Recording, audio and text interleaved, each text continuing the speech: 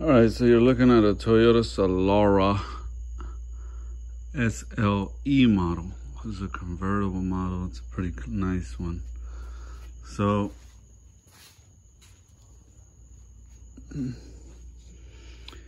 they brought it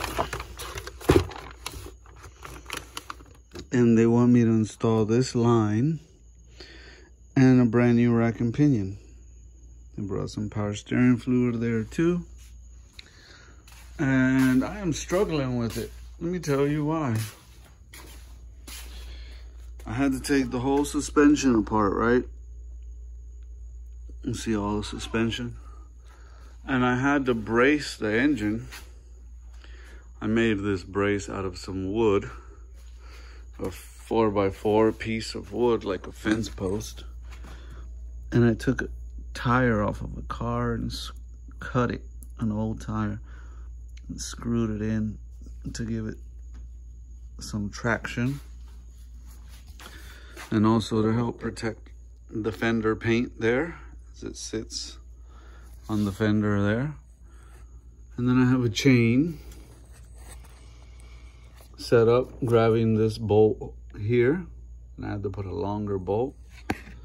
And the other one, I don't think I'll be able to show you. It's kind of, I'll do my best to show you if you can see it. And that sensor's in the way. It's bolted in down there on that bracket. And I had to get a longer bolt. And then I brought the chain up under the throttle body. Up under the throttle body and over the piece of wood.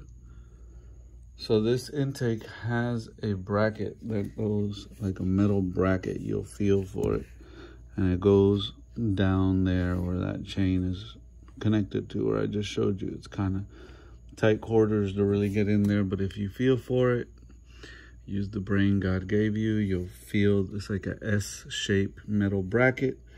It goes to that bolt on the head. That's a safe place to grab it. I didn't want to attach the chain with this much weight on it onto the intake. Those bolts are much weaker. Um, so yeah, we got this chained up over here. Oh, excuse me for yawning on y'all. We're looking at the 2007 Toyota Solara there. And obviously we have it chained on the other side as well. On the other side, I'll show you where I loop the chain if the camera allows me to.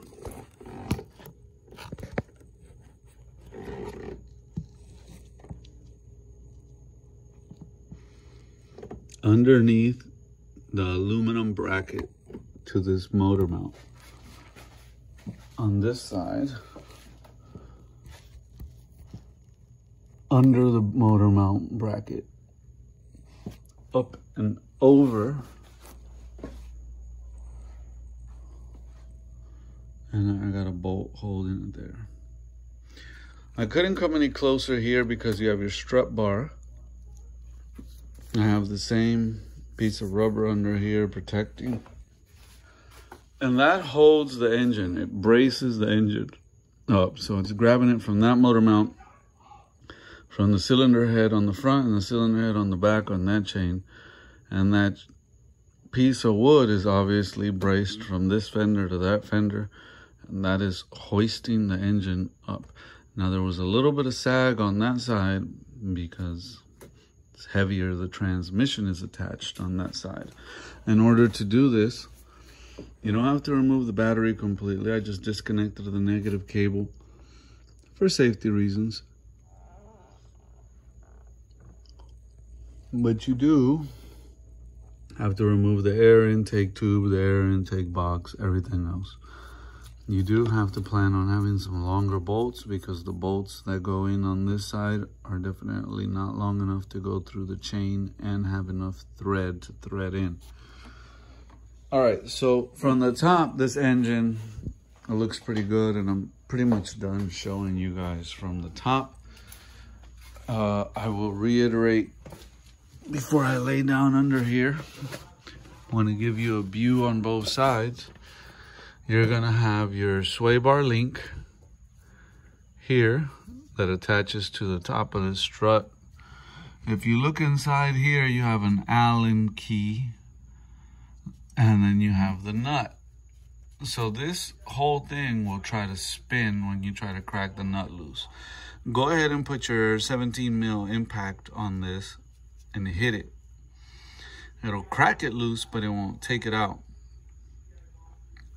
Then you have to take the impact off, get a regular open-handed wrench and put the Allen key inside of there, holding it with the Allen key as you're wrenching with an open hand wrench to get it the rest of the way off. These, this car was from up north. It's very rusty.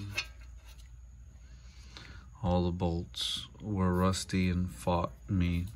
This bolt should be in the top bolt, not in the bottom one. And this bottom one should be where this one is. Oh boy, I can't stop yawning on y'all. It's late over here, so just work with me. All right. These are the motor mount bolts on the bottom. There's three, one, two, and the third one's back there. You can't see it from the front, but it's on the back side. I was gonna remove that bolt and that bolt and take the whole control arm out. Um, I did remove the CV axle. I did have this completely swung out, but I have that bolt going through the top bolt to give it more room to drop down lower so that the subframe, this is the subframe, y'all, subframe, to have this whole subframe drop down lower. You can see it right there how it is. see if I can get my hand in here. This, you can see where that was pressed up against this and it's lowered down there. So this whole subframe, lower cradle, whatever you want to call it, was lowered and that's why you see the motor mount separated. And um, CV axle and everything, I was going to go ahead and lower the control arm this lower control arm is pretty shot. It needs to be replaced. If you look here, look at this bushing. that bushing is tore up. Same on both sides. So it's time for new lower control arms on it. Struts are also original, never been replaced. Sway bars are rusty, crusty. Uh, CV axles are holding up good. We're gonna put a rack and pinion. I'm hoping it came with outer tie rods, but I'm thinking it probably didn't. If it didn't, I'm gonna ask him to get some new ones. Um, this is the sway bar that I have out of the way there. And right now I'm working on this line was bolted from here to this bolt. And then it had another bolt that went from there to there. So I have movement in that line see?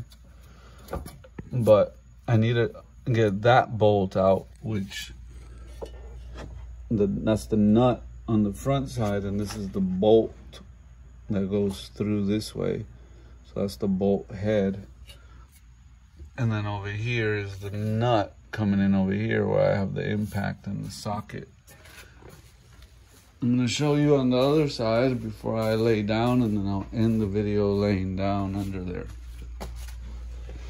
We did the same thing over here.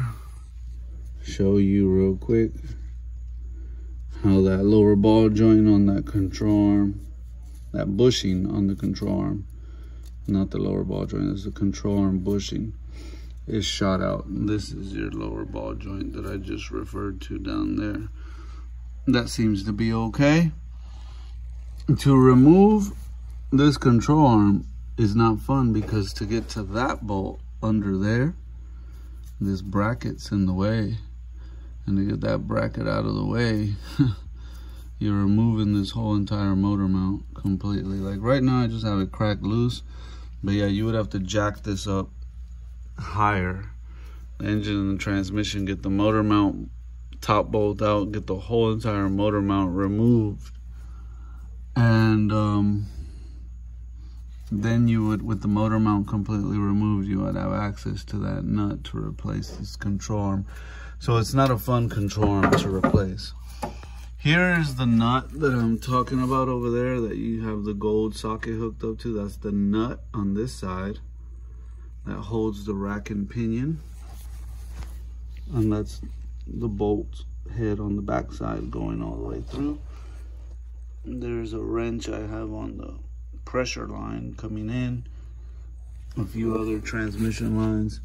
If you can notice in this video, for those of you that have caught on already, I have the sway bar completely disconnected. I have it disconnected from the sway bar link over here, like I said. Sway bar link is still attached to the end of the sway bar. But the sway bar bushing back here has been unbolted. But because of the bend in it, I still don't have enough room to remove it. To remove this sway bar, I would have to drop the subframe a lot lower, pretty much all the way, and slide it out through the back. I'm trying to just work around it is what I'm trying to do. But you see the space in between the transmission and that nut on the end of the bolt that's coming in from the back this way? That's what I have to release to get the rack and pinion out. And then I planned to get the rack and pinion out this way. Play with the sway bar, get it out of the way, and fish it out through here without having to lower the subframe all the way. Now what I highly recommend you do is what I did. I marked this with uh, whiteout. And the reason why is because this is the steering yoke. Move this plug out of the way so you guys can see a little better. So there's your steering yoke going to the steering wheel, right? That's the steering column, the bottom of it, coming out of the steering wheel. And this is your steering yoke with the yoke U-joint built into it. This is the nut, the nut, the bolt that goes through that's already been loosened.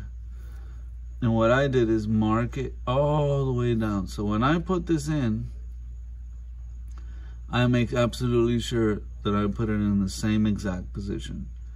And that way I know my steering wheel was centered when I marked that. My steering wheel inside of the car was centered. And the rack and pinion, the wheels were centered also, obviously, if the steering wheel was centered. So that'll give me a guide. Another thing I did was um, let's see if this, this iPhone quality on this camera kind of sucks. Let's see. The focusing of it doesn't autofocus well. All right, so I put some uh, white out on this too because when I crack this nut loose and back this tie rod off, I want to be able to have an idea of the similar thread count to where it was before when I reinstall it. So another thing guys do is they count the threads and you use your nail, feel the first thread it falls into and that would be one, two, three, four, five, six, seven, eight, and nine, and 10. So it's about 10 threads but it's marked either way. And that is kind of the best you can do to kind of keep the alignment as closest to what it was.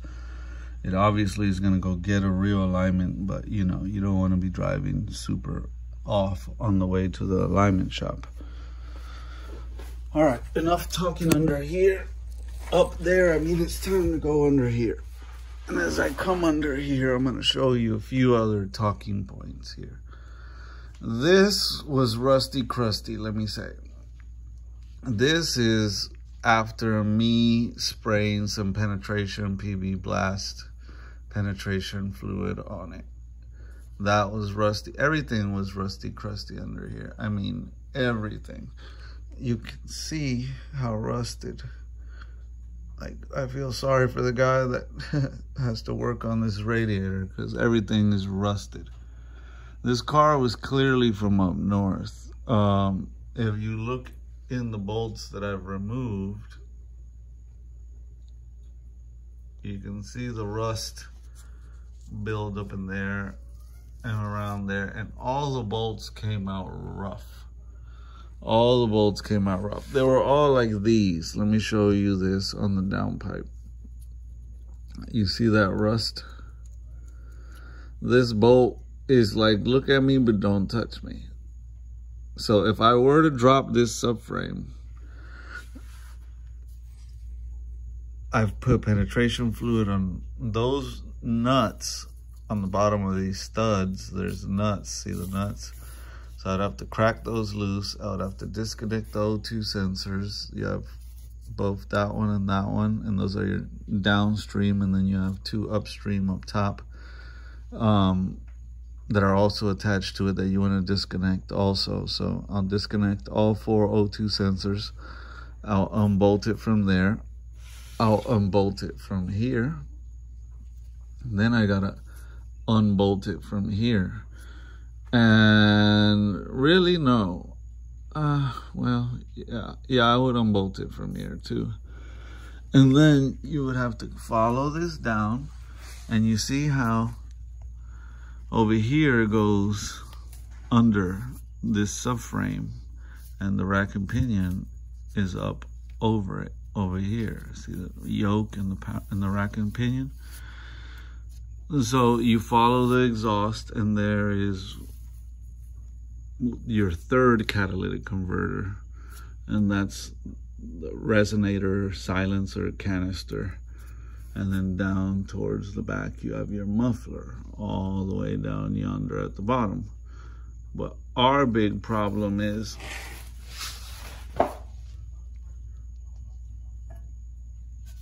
these rusty, crusty bolts, man. Those bolts ain't gonna come off. I've sprayed them with all kind of penetration fluid. It was dry and rusty like this, and I sprayed it all down. And uh, penetration fluid ain't cheap. And I've pretty much gone through about two cans. Let me show you what that is for most of you that don't know what it is. Blaster since 1957 penetrating fluid. So this can's got a teeny bit left in the bottom of it. So I'm honestly trying to avoid having to remove that because that's going to have to be grinded off and it's going to, it's not going to be something I want to do. So slide over here and show you some more rust. See, see the amount of rust this thing has everywhere on it. Like just rusty, crusty under here. So these are the, um, these right here are the lines, the high pressure lines going into the rack and pinion that I'm going to replace. And you have one here and the other one directly above it. If you can see the other one going above it, it's kind of hard to, it's kind of hard to show. I'll come in with this hand and touch it. So there's the top one, there's the bottom one, and they're rusty, crusty. And then over here, you have a release point where you could technically release it from here. So I have a wrench on here and this wrench, I believe, is a 22 millimeter wrench on this side. And I believe I was using it. Was that a 19 or was that a...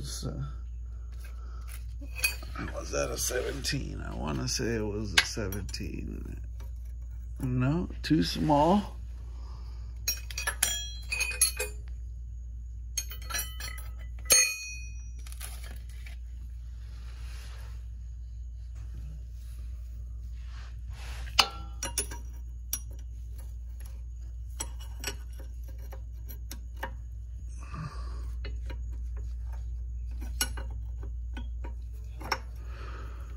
So there's the 17 on it.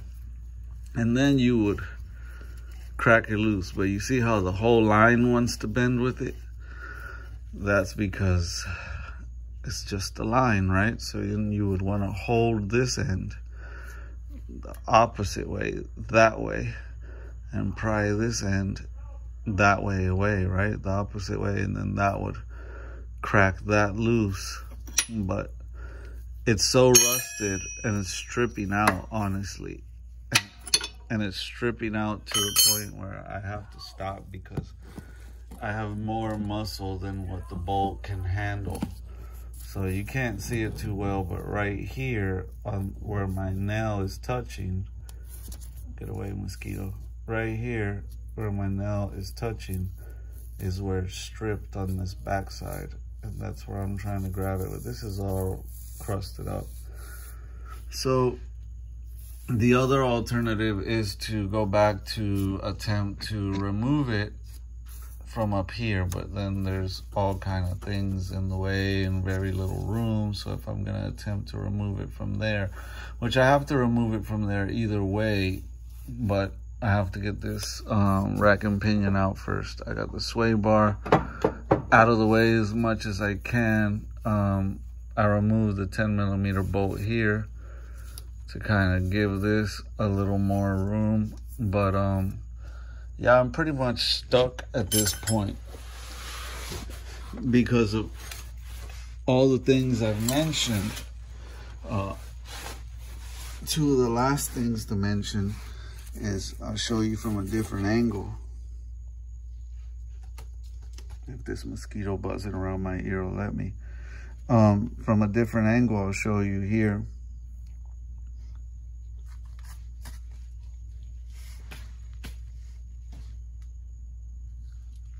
Okay, sorry, mosquito was like in my eardrum. I could hear it buzzing. Anyways, this nut hits against here. So you see, it's a 17. And when you try to get in there with the wobbler and a short 17, the transmission's in the way. And you can't, you can't get in on the bolt, on the nut good. You're gonna end up stripping it. So I decided to go with an alternative wrench and a shorter socket. And I thought I was getting somewhere because that length from there to there was enough to fit in here. And then what I did is I put this pipe inside of this wrench for more leverage and I put this socket on there and I had all that leverage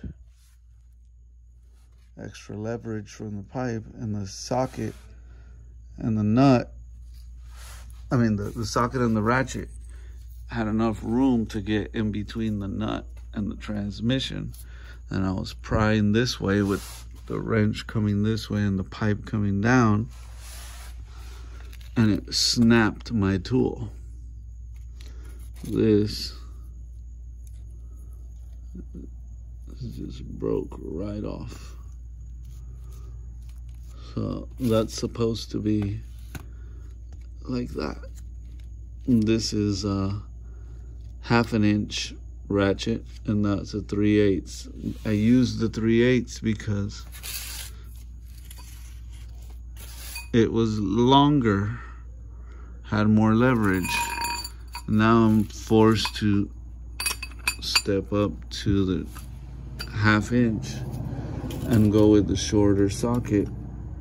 That's a 19. Gotta get this 17 off one-handed and I can't. So, hold on a second.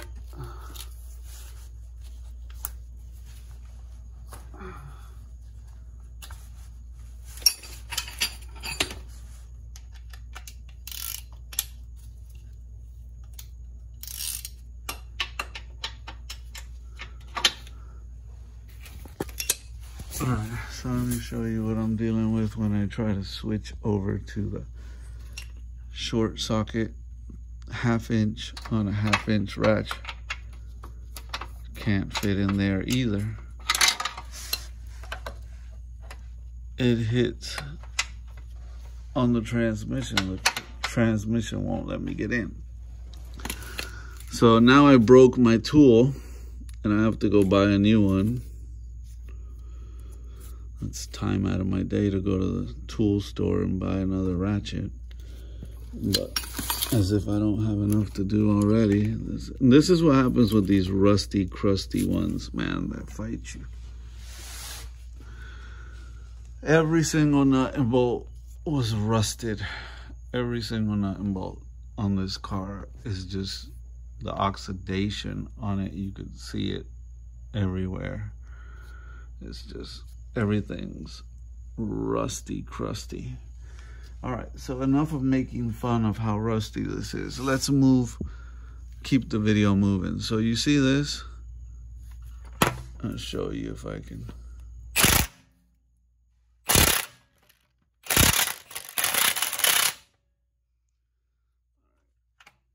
that's not coming off. We have the gun on number three. This is the the big boy Milwaukee with the big battery on it. This is heavy duty, half an inch impact. I have to put at least a short extension on it. I got an impact strength uh, wobbler on the uh, socket, which is a 17 socket, deep socket. And that's the nut over here on this side. Now this side, I can probably switch to the deep socket over here, which is what I'm gonna have to do. Because even that big impact gun ain't got enough juice in it to crack that bad boy loose. So I'm gonna have to switch the socket over here.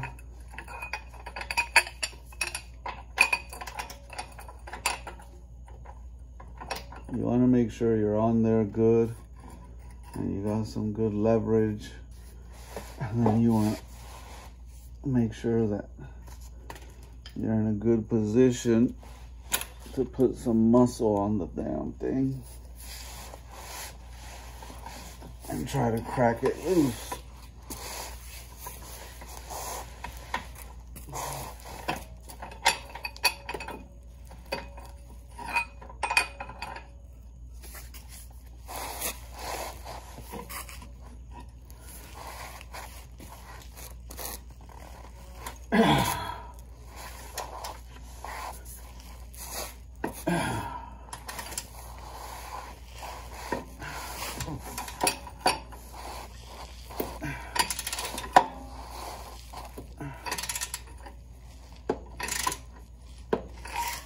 That one cracked loose.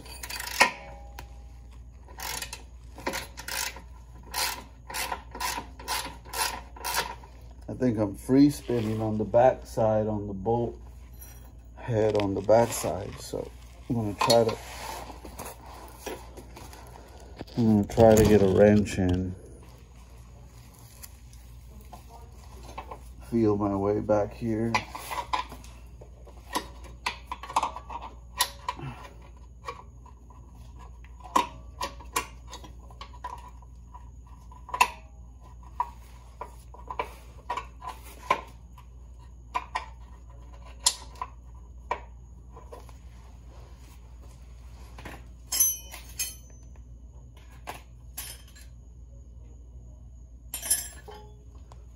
Must be bigger than a 17.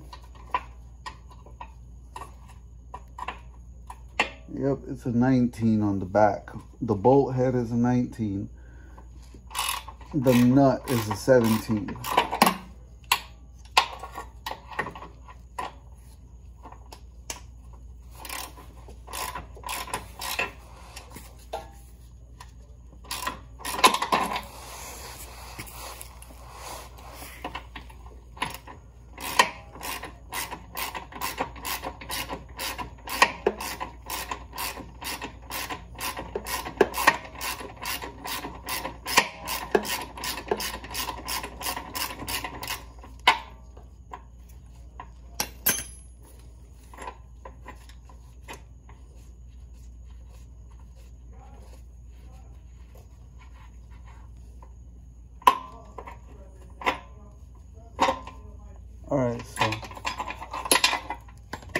That's out.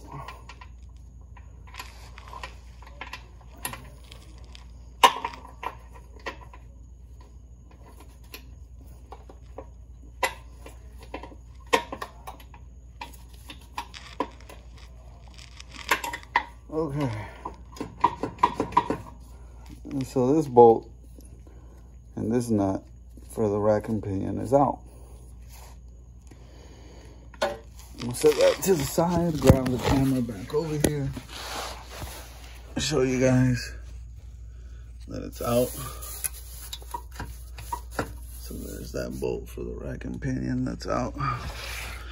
I've noticed something else while I'm laying under here that I could show you guys.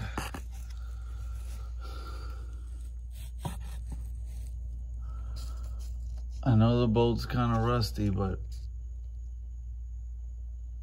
you see that bolt right there? Right there, that's that bracket I was telling you about.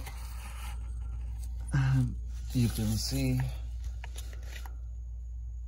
the bolt that I put in right there with the chain grabbing onto the head. You feel for that from the top. That bolt right there on that chain is what's hoisting that engine on this side and holding the weight of this transmission on that piece of wood. So now you don't want PB Blast dripping in your eyes. You want to move around. That's the bad thing with spraying this thing down. You end up with PB Blast dripping in your eyeballs. All right, so we are back to figuring out how to get this bowl off. So we already know we can't fit a socket. We got to hit it with a wrench, right?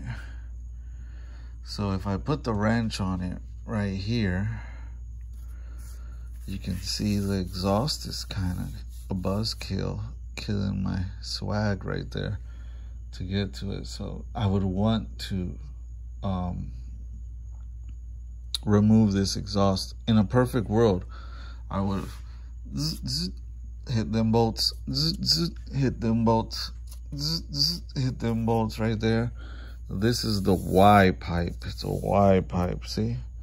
So I would have removed this Y pipe and then I would have came here and I would have went zzz, zzz, remove that hanger right there, which some two little 12 millimeter bolts.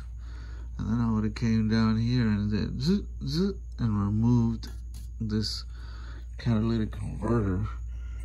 And this would have all been out of the way. And then I could have really dropped the subframe much lower. And that would have gave me the access to be able to get a real socket and a wrench on this side of this nut without the interference of the transmission.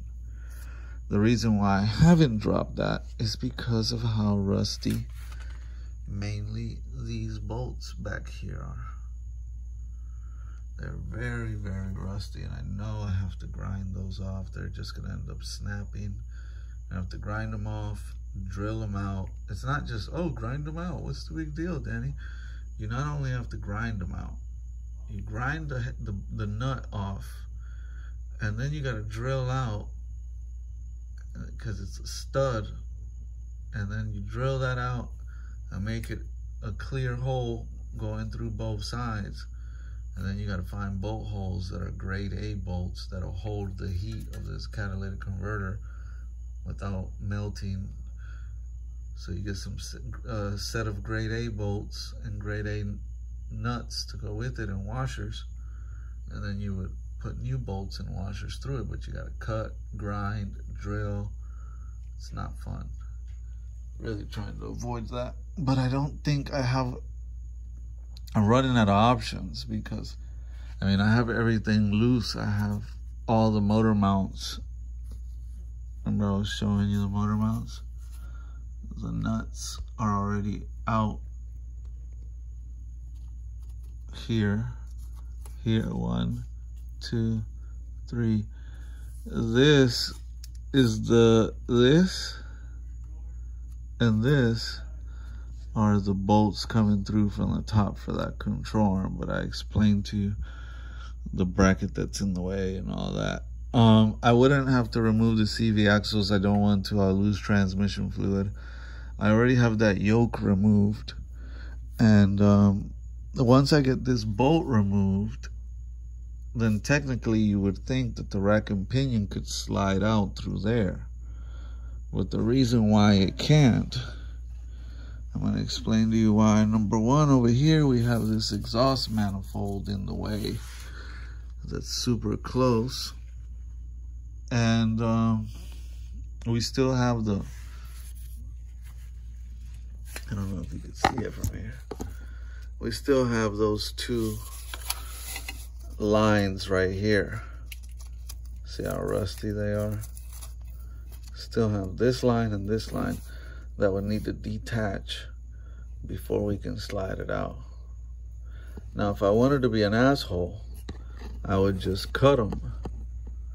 Zzz, zzz, cut them and say, sorry, you need to buy new lines. Because technically you do. But I like this guy and I'm trying to save him as much money as I can and I don't want to be an asshole like that and just cut him if I can work my way around it. But right now, my biggest concern is getting this. If I can find a way to get this nut off, I'll deal with that afterwards. I need to get this nut off of that bolt. It's a 19 on the back and a 17 here. And here's where I need it, right? But I need to also interlock this wrench on there. And I don't, I can't do it holding the phone, so just bear with me for a second. So I could show you, don't go nowhere. I got you sitting on my chest. I know you could hear me while I'm trying to interlock this wrench on here. All right. Thanks for bearing with me. Here we go. So you see how I have this wrench coming in here and there it goes. It came off. That's interlocked there and then that goes here. And you always suck when you're holding the camera. Normally I can get that on much smoother. So that'll interlock there. This presses against the back of that and this holds that. And I can't do anything with one hand. I'm all falling apart here trying to show you all this. Come on. But I can't interlock that with the exhaust in the way. See, it won't let me. And I needed to interlock with that nut grabbing in that position right there. But this exhaust won't let me inter get in to interlock. I've already tried several times and it won't let me. So in order for that to interlock, I need to take it to the next interlock position. Not that one,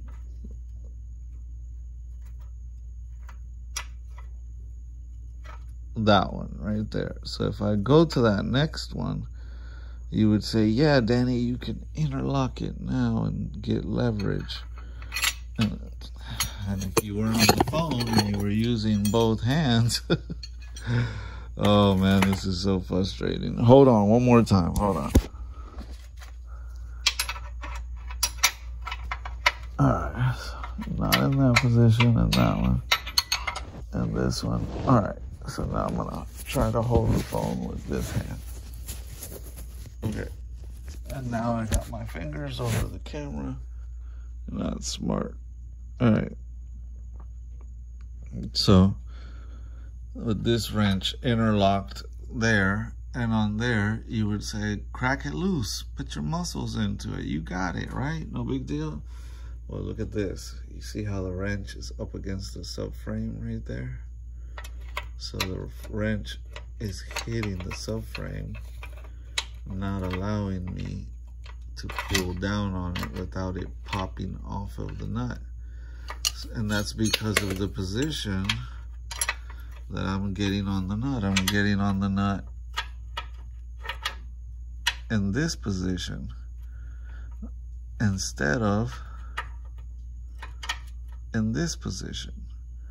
In this position, I got enough room to put my finger in between the subframe and the wrench. That'll give me enough of room to crack it loose. Once I crack it and break the force of the nut on that bolt, I get that crack, I'm good to go. But I can't get that crack with this amount of leverage from just the length of this wrench. I need to add the leverage, the length of this wrench. And this exhaust is in the way, in the position that I need to grab the nut to have the room in between the wrench and the subframe. So there goes that idea, right? So we're back to square one. And like we said, we need to crack this loose. And then that'll let us wiggle the rack and pinion around. And worst case scenario, if we had to, we can cut those lines I'm to avoid doing that. I'm to try to get a wrench in there, as complicated as it sounds. I'm going to get a wrench in here and try to small wrench. But I need to remove this first.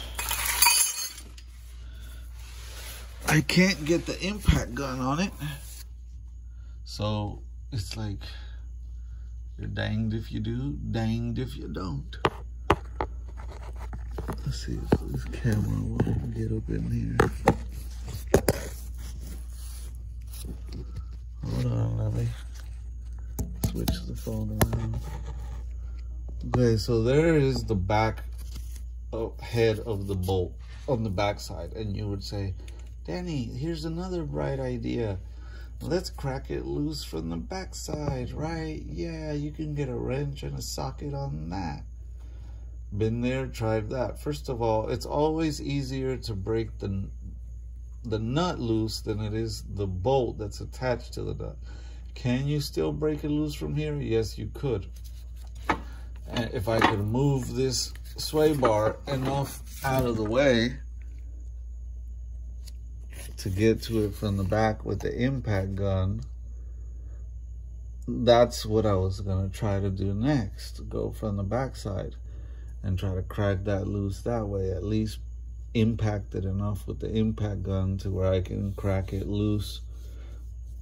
Just shock the bolt, the nut enough to where I can crack it loose. So that's the angle that I'm trying to go about it now. To go that angle from the backside. Here comes that mosquito again. And then last but not least, I have to either try to disconnect that or the two lines above, worst case scenario, I have to cut that line. I don't want to.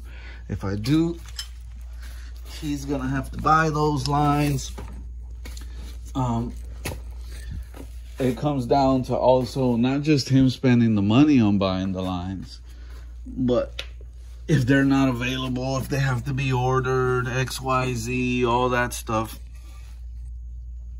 now this car is in my garage, tying up my garage, waiting for him to get me those parts.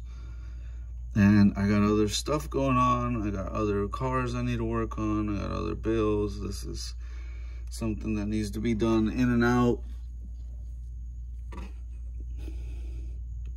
as quick as possible. Another alternative is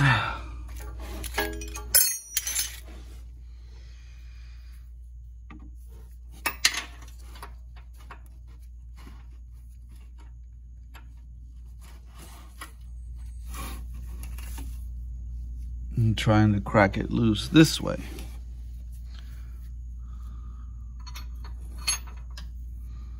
Like so. This freaking mosquito just loves me and I got bug spray on and he doesn't care. He wants me anyways. So there is the nut.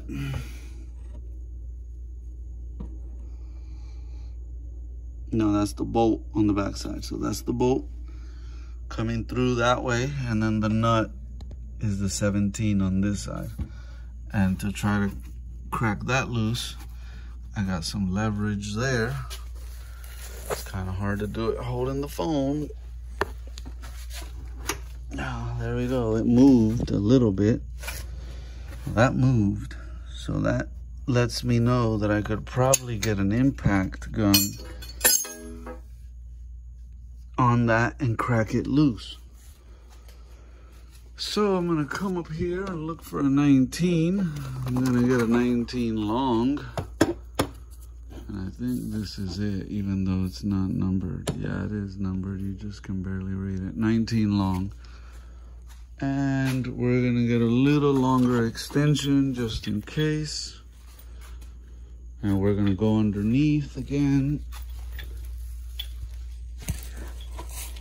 Now keep in mind, we still got that 17 wrench holding the nut on the backside over here. And just to, for those of you that get confused, this is the nut. And this is the bolt head. That's the, the bolt, bolt head. So you can see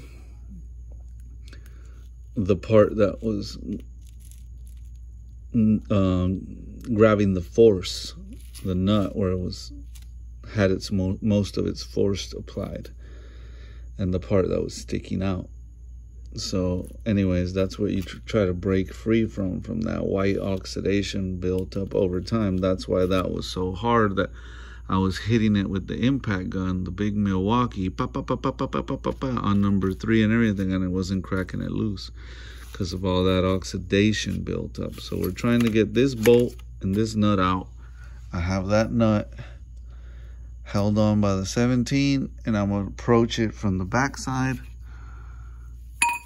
Move that out of the way. And we're going to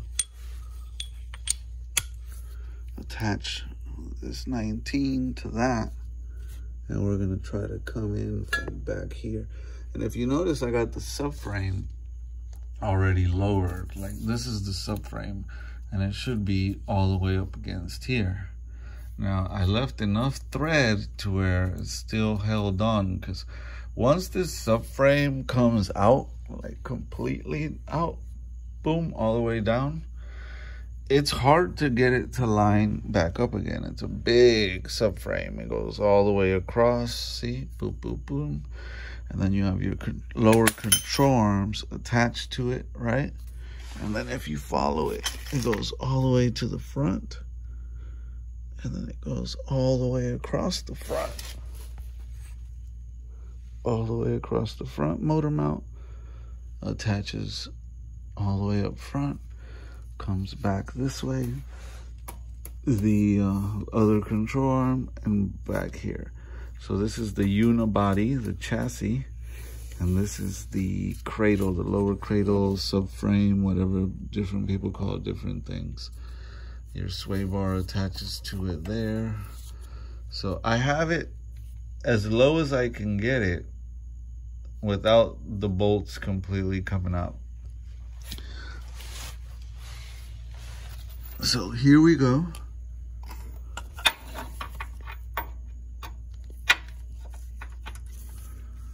That is just enough extension right there. Now the ideal thing is to fit the impact directly on here without the wobbler. Hopefully that can happen. I don't know if that can happen still on the phone with you guys. I'll try my best. But no promises, right? No promises. We'll see.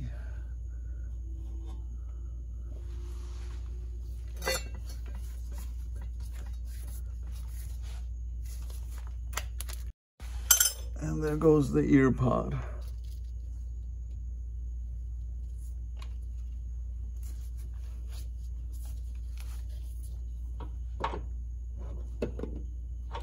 and they won't.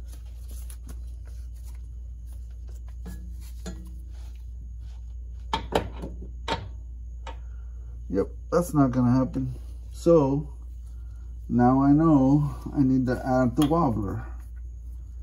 Impact, strength, half inch wobbler. To give me the little drop angle that these brake lines are demanding I give it. Okay, so we're on there. I have my wrench here. So with my right hand, I'm holding that 17 wrench in the front. And with my left, I'm gonna hit this.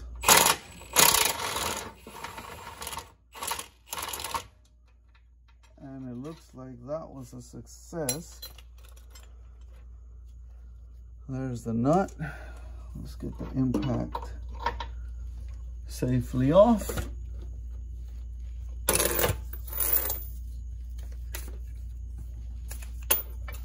So this is what we ended up using, the long 19, half an inch extension wobbler on the impact gun from the backside. So now we have that bolt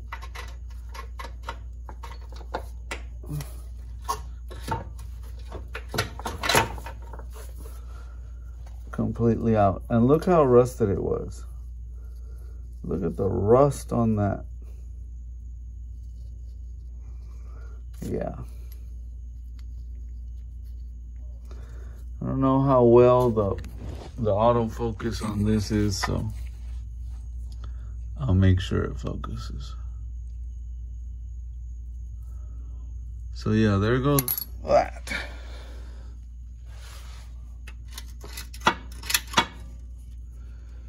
So now, keep in mind, this is all in the name of avoiding to take down the exhaust, right?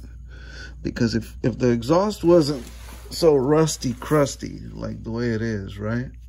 All rusted up. We would have just dropped it down and it wouldn't be in our way. But look at this thing, y'all. Now that I'm laying back here, I'll give you a closer look.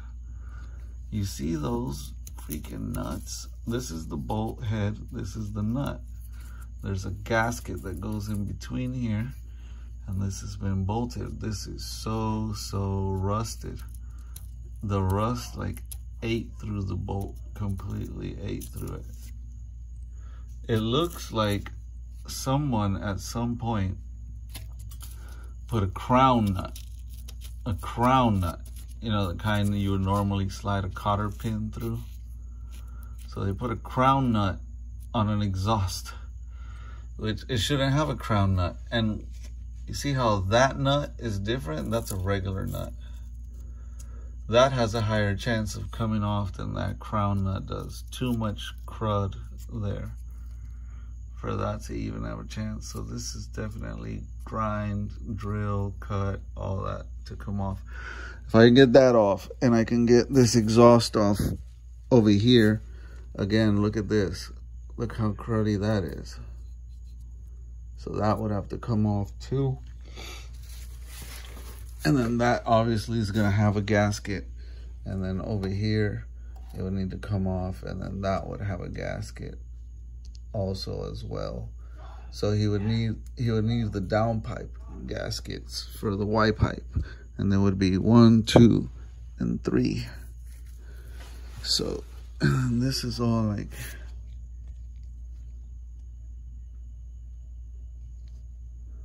rusty and fragile. So I really don't want to mess with this guy's exhaust. In a perfect world, I would just drop the subframe. So then I will end in saying, how do you drop the subframe?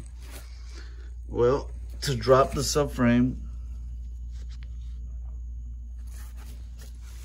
don't know why it got so dark all of a sudden. All right. There we go. To drop the subframe, you got to take it off here on the other side over there. Right? You see the exhaust there. See how it runs back on both sides under the exhaust and across. So to drop that subframe right there, you would want to have two jacks and two people. And one jack over here and one jack over there lowering down the subframe. Because it's heavy. Trust me, that subframe has some weight to it. And bringing the subframe down is easy. Putting it back up and getting all the holes and the engine and everything to line up, that's a whole nother ballpark. That's why you charge a lot of money to do this job. A lot. Not a little, a lot. But like I said, we like this guy. I didn't think, when I quoted this to him, I thought this was just a slide the rack and pinion out, slide the new one in, give it back to him. I didn't think it was a drop the subframe job on this. I would have quoted him way different, probably double what I'm charging him at the very least. But you got to be a man of your word and stick to the price you gave if you already gave a price. You can see this inner rack and pinion boot where it was all tore up.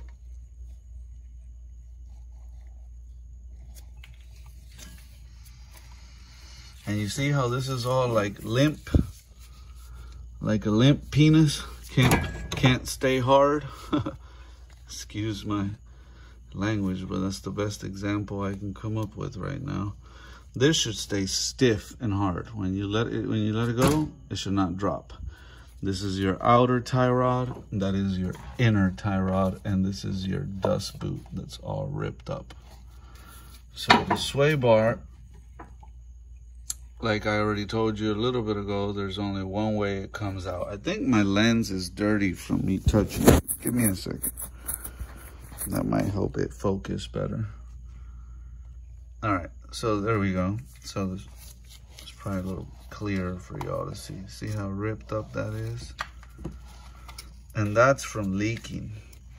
Now what happens is, this is the dust boot, and inside of that rack and pinion, if you remove this dust boot, if you were to remove it, which he's gonna need a new one anyways, so for the educational purposes, I just jerked it off. Here is your inner tie rod where it bolts to the um, rack and pinion. The threads are where my fingers are. And it has an indention here and on the other side where you would stick a wrench or a tie rod removal tool could slide in here also and you would remove this. Now inside of here, there's a seal. Now they rebuild these rack and pinions. That's why they charge you a core to return the old one because they'll open these up, inspect them, clean them, put a new seal in it, put a new dust boot on it and sell it to someone as a brand new rack and pinion for 300 bucks. Crazy, huh? But that's what they do. They and back in the day, they used to sell you, the customer, a rack and pinion rebuild kit. And it would come with a new seal. It would come uh, C-clip and everything for it. And uh, you would rebuild it. Yeah, other than that, it's just a shaft. It's a hydraulic system. So you're compressing hydraulic fluid back and forth.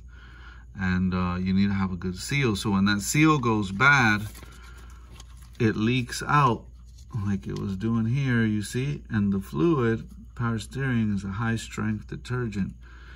And that fluid leaked in the bottom of this, it sat in the bottom of this dust boot and leaked and leaked and leaked. And that fluid ate right through the, the plastic, I want to say, like rubbery plastic. It's probably a mixture of both, whatever. The point is, dust boot went out and then once it ripped through the dust boot, the fluid wasn't staying in there and it was obviously leaking out and he was noticing that he's losing power steering fluid, leaking it out.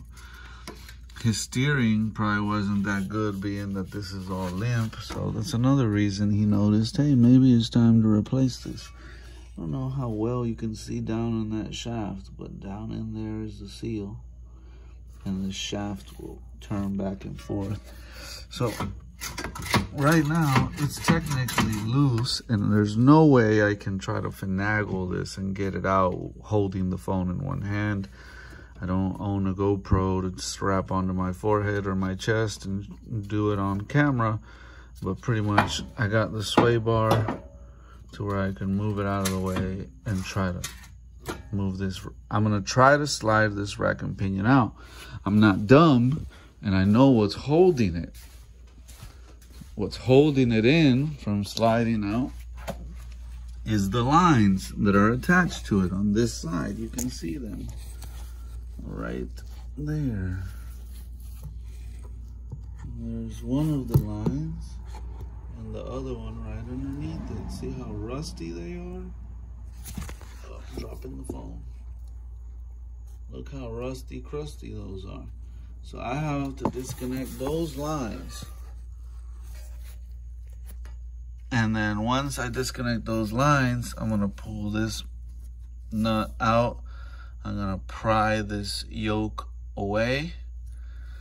And then I'm gonna be able to pull it out, right? Was this dust boot ripped?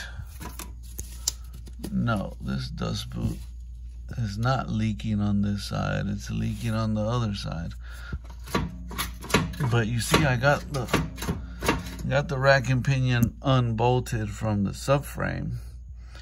And if I got it off of the yoke, I think I could tilt it this way and play with this sway bar to and slide it up and out through here. But for that to happen, for that to be a reality, I have to disconnect those two lines under there. And like you can see the room you have in here to get a wrench and twist it is not much. And they're pretty rusted out. So that's going to be the next thing I'm going to do off camera also.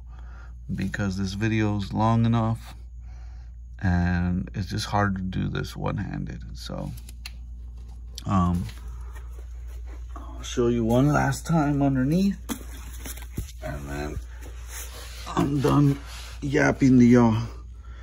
There's the two lines that I'm talking about. It does have a disconnect line right here, but it's too rusted and too shot out. I've tried to loosen that there. I'm gonna play with it. I'm gonna play with the disconnect line some more, play with the other one. Worst case scenario, push come to shove. I have to cut both of these lines. Push come shove. And then he's going to really have to spend some money on both of those lines, completely brand new. Now he has one of the lines in the back, but not the other one. He has the low pressure line, not the high pressure line. The high pressure line is the expensive one. So We'll try to save him some money. I'll play with that, see if it cracks itself loose. Um, slide. So on yours, if it's not rusty, you'll crack that loose, crack this loose, pry the yoke off, take the bolts from that steering yoke off, boop, boop, and slide it out, and you wouldn't have to drop the whole subframe. On yours, ideally, somebody didn't use a crown nut as an exhaust nut when they did your exhaust and it wouldn't be all rusted out. So these might have to get grinded off, push come the shove. So that's where I'm at. He would have to buy, obviously, the gaskets for all that. And uh, I really don't want to do that either because I don't want to have to drop the whole entire subframe. I don't want to keep being redundant, talking about the same thing over and over, but I wanted someone to be able to watch this video and have a good, clear understanding of what it takes to do a rack and pinion on a 2007 Toyota Solara, Solara convertible. If this was a four cylinder, way, way, way easier, y'all way easier on the four cylinder. So much more room. The V6, yes, you get the power and the acceleration of a V6, right? I like a V6, but I don't like a front wheel drive V6. I like a rear wheel drive V6. On these front wheel drives, I always pick a four cylinder if I'm gonna go front wheel drive. You get so much more real estate. You get so much more real estate room available to make it easier to work on the engine. The a V6 front wheel drive, instead of being mounted this way, the pulleys and everything would be up here in the front. The transmission would be going towards the back wheels, not this way, but that way. So it, it gives you a lot more room to work with. On a rear wheel drive. And um, a rear wheel drive would normally have the rack and pinion in front, not in the back. So it makes it easier too. These Solaras would have been beautiful if they would have made them rear wheel drive like they did the Lexus uh, SC300s. They had a straight six rear wheel drive. They could have done this with the V6 rear wheel drive on these Solaras. They would have been great cars, in my opinion. Much better than the way they designed them with the front wheel drive setup. But whatever, that's neither here nor there. It makes the timing belt and everything a pain in the butt to get to. Anyways, hoist your engine, guys. Hoist your engine up. Oh, tired. And um, drop your subframe down on the bottom the rack and pinion will be nice and easy. Even if you're doing this on jack stands, you will have access. Get a buddy over, get one or two jacks. You gotta have at least two jacks and and jack it up one side and the other side, you know, get a block of wood, get it nice and level on the jack on both sides of the subframe and bring it up and do it that route. I have a transmission jack that I don't want to use right now because I have a transmission on it right now, but the transmission jack would be real good to help get the subframe up too because it has a wider a wider contact patch to grab that subframe and help bring it up. So yeah, that's that's where we're at. Um, subframe down, easy exhaust down first, then the subframe down, easy peasy rack and pinion. Rusty car trying to fish everything out because you don't want to drop the subframe because the exhaust is so rusty, not so easy. Uh, snapping ratchets, breaking tools. I mean, I don't know why I get the hard ones, but it is what it is. I got stuck with the hard one. I'm trying to get it finished in between tonight and tomorrow. That's a lot to chew off. But when this camera goes off, I go boom, boom, boom, boom, and I get to work. Um, it's hard for me to do like good work on camera when I'm using one hand to hold the phone. But I hope the video shed some light on the situation for someone looking to do a Toyota Solara rack and pinion with a V6 hopefully not a rusty one and um, kind of gives you an, an, idea on is this something I want to tackle myself or is this something I want to pay someone else. Um, labor for this job, dropping the subframe and everything, I mean, it just depends who's doing it and where they live and different, different strokes for different folks. But I mean, a shop would charge a lot of money. It'd be well over a thousand dollars. Um, to do the rack and pinion on this car with an alignment, labor, everything.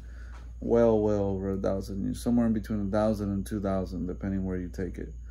Um, anyways, this guy's good to me. I'm going to be good to him. I kind of shot myself in the foot on what I quoted him. I'm going to make no money on this thing. And it's going to kick my ass. But at the end of the day, it's going to get done. It's going to get done right. And that's really all that matters do it right or don't do it at all, right? Even when it sucks. So this one sucks, but I'm going to make sure I do it right even if it sucks. I listen to a lot of Tony Robbins and uh, he says, so what if it's hard, do it hard. Do it hard. And sometimes you just got to do it hard. This is definitely a hard one. I'm going to do it hard. I'm going to get it done. Thanks for watching. I hope this helps someone.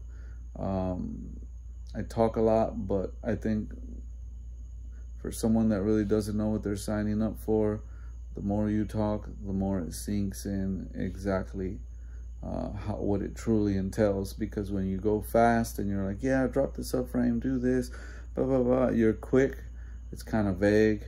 And then people really get started on projects that, according to your little quick videos, seemed like an easy project. And then they're like cussing up a storm saying, this is a lot harder than his little short video made it seem it was. So therefore, we'll drag on a long video to kind of drive the message home of this is not your easy job. If you sign up for it, know exactly what you're signing up for. Even if this was not rusty and all the bolts just dropped down, easy and go back up easy.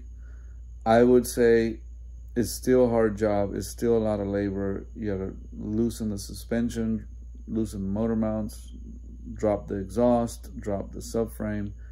And getting it, getting the subframe back up and aligned on jack stands isn't always the easiest thing to do. You, the bolts, you need to go up straight so they thread in nice and smooth, not crooked. It's hard to do that by yourself. You're gonna wanna have a buddy or two around to kind of help get that subframe back up in place and thread it in nice and straight so it's threading in smooth and you're not damaging the threads. Then once you got it threaded then you got to also worry about the motor mount brackets themselves lining up with the subframe as the subframe's coming up. So you're jiggling around the engine trying to get the engine to move a quarter of an inch that way a quarter of an inch this way so that those motor mount bolts will line up with the bolt holes on the subframe and uh, some to do that, I mean, you're moving around a V6 with a transmission attached to it. So now you're using a big pry bar. And if you're not careful what you're prying against, things could easily break. And then now you need to replace stuff that wouldn't have needed to be replaced if you wouldn't have been prying around on the engine trying to get everything to line up. So there's a lot of liability that the mechanic takes on. Um, and even having to drop the subframe. That's why you charge so much to have to drop it because customers will make you liable for old brittle plastic. And, and like in Florida, we live in the sunshine state and this plastic is so brittle. I mean, you lean against it the wrong way in someone's engine and it just breaks, it snaps because of all the heat under the engine, the sunshine state, stop and go traffic, miles and miles and miles, over a 100,000 miles plus. plus, And plastic gets hardened up and it gets brittle and it's fine until you start messing around in that area. And then once you start messing around in that area, all of a sudden it's not fine and you move this and it put pressure against it and now you have a crack in this plastic piece that has to be special ordered and Trust me, I've been there, done all that. So if you could avoid all that, avoid it. Anyways, I'm rambling again, but just important ramble uh, to kind of, again, drive the message of how much liability, how serious of a job it can be. Make sure you know what you're signing up for. Anyways, I'm going to go. I'm tired. I, I want to get those lines loose and get that rack and pinion out before I go to bed. And then tomorrow we can tackle putting it all back together. But if I don't end this video, that's never gonna happen. So I made it a long video on purpose because I wanted it to really drive the message. I think I've done that. I thank everyone that hung in there and watched it to the end. God bless you. I may or may not make a video of it going back together. If I do, it's just kind of like to cover my ass with the customer so they can't say, well, we didn't see the new rack and pinion go in, you know, so that way they have documented proof on video, the new rack and pinion going in with all new lines. I might do a video of that. May, may or may not, just depends. I'm kind of running against the clock here because I have to go out of town this weekend and I'm trying to finish this before I go. Anyways, thanks for watching the video. I'm getting tired. Talk to you all in the next video. Peace out. Bye.